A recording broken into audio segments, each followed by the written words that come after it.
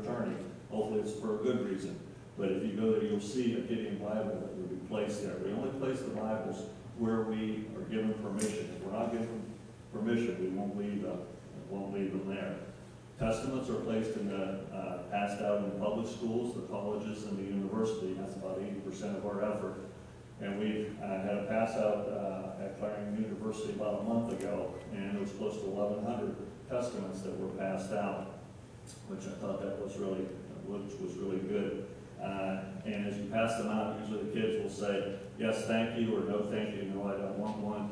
One of the most politest declines I've ever heard, one of the guys was passing out a testament to one of the students, and he goes, no, thank you, I'm driving.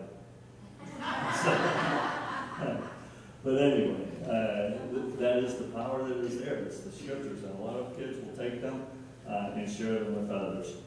And the main thrust of our ministry is that Bible distribution and your donations through this gift card program can provide Bibles to the nursing homes, the hospitals, etc. The main and biggest thing that I want to stress is that we are here to ask for your help in prayer.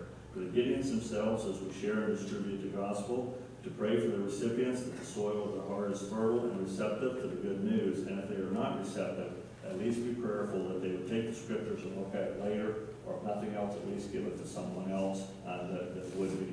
God's word and uh, does not return void. Whoever is to receive that scripture will receive it. And every scripture, testament, and Bible will reach out to those that are, that are intended. You're all familiar with the different cards. They have one for every occasion that's out there. The uh, pastor appreciation cards, thinking of you, etc. The popular uh, in memory cards. But I want to share with you where your money uh, goes when you make the donation. Now the cards are free, and whenever you turn in a, uh, one of the cards in, in memory of or in honor of a specific occasion, I want to share with you Clarion County Camp, and you're part of Clarion County Camp. We're on the right side of the creek, right? So, okay. So we're in Clarion County, but Clarion County, last year, fiscal year, there was over forty-eight thousand seven hundred and seventy dollars that was given towards the scriptures and for the donation. Now, these little testaments are a dollar twenty apiece. That allowed us to purchase forty thousand six hundred and forty-two testaments. Now, here in the United States, whenever one is passed out, generally stays with the person that's given, that it's given to, and winds up on a shelf or in your pocket, in your book bag, or wherever. But when we go to foreign distributions, and we're looking at Africa and the Middle East, and even especially in the Far East, that these are shared on the average with uh, six different people. And they'll either read the book itself, and by the way, in, in the front of the book, if you haven't noticed, there is helps in, in um, decision sections and questions and so forth, but they will pass this around amongst their friends. Sometimes I've even heard that they'll read a, a chapter or a book, and they'll tear that out, and then they'll pass it and share it with someone else. But on the average, it reaches about six people. So that the forty thousand six hundred and forty-two testaments that we were able to purchase, you as a, being a missionary, being a witness to two hundred and forty-three thousand eight hundred people. You're reaching out more than just one. You're reaching out to that many people. Now, the same amount, seventy dollars, the Bibles are five dollars a piece. That allows us to purchase nine thousand seven hundred and fifty Bibles for the hotels and uh, the nursing homes and so forth. Each Bible has an average lifespan of six years, and over that six-year period, it will reach two thousand three hundred people on the average. So that means over that lifespan of that Bible, that many Bibles, you are being a witness to, you being, are being a missionary to twenty-two million, four hundred and twenty-five thousand people. Just think of the outreach that you're able to do by supporting the program. I do want to say thank you for the opportunity to be here. A couple other things I want to mention to you.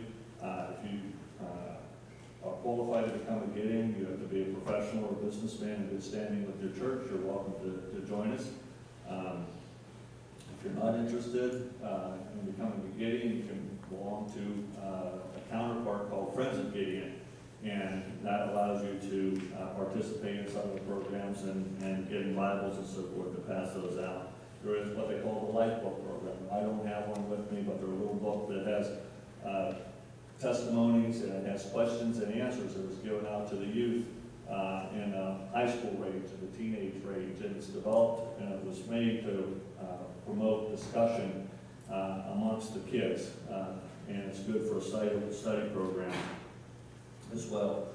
Also, uh, for you techno dudes and dudettes out there that have smartphones, how many have smartphones? Everybody, I figured you guys would back there, okay? Uh, they have what they call the Bible app, on the back of that, uh, is a code that you can enter, and you can carry the Bible around with you.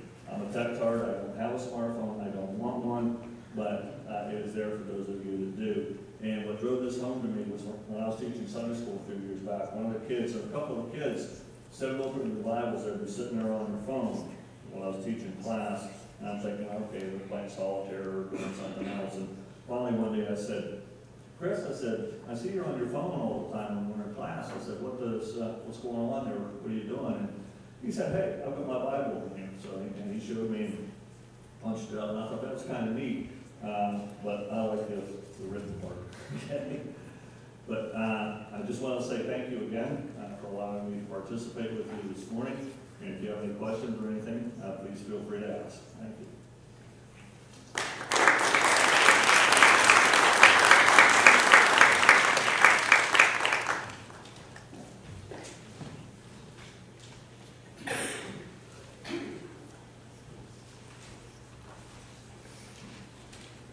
Well, turn in your hymnals to number two hundred and six, or I'm sorry, three hundred and sixty-two.